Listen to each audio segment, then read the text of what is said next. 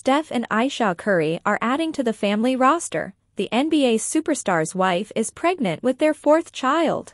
Ayesha just revealed the amazing news in her newest Sweet July magazine issue, explaining that she and the Golden State Warriors guard initially thought they were done having kids after their third child was born in 2018, but had a change of heart. Last year, we looked at each other and agreed we wanted to do this again, the 34-year-old said. Ayesha, a TV personality and cookbook author, added this pregnancy hits differently, especially when it comes to her cravings like watermelon, Japanese peaches and McDonald's McGriddles. She explained she's happy and grateful for the support system helping her through her pregnancy, but admitted it can be difficult at times. I was really stubborn in my earlier pregnancies, Ayesha said. And that hurt me in the end. It made things really hard on me.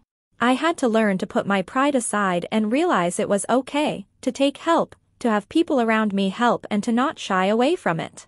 I know I can't do this alone, it truly takes a village. Steph and Ayesha's relationship is like something out of a movie they met at a church youth group in Charlotte, North Carolina, when they were teenagers, and got engaged in 2010.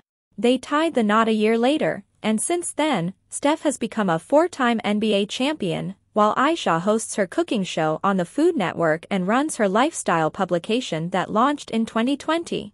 Steph and Ayesha have three other kids a Riley, who was born in 2012, Ryan in 2015, and Cannon, who arrived in 2018.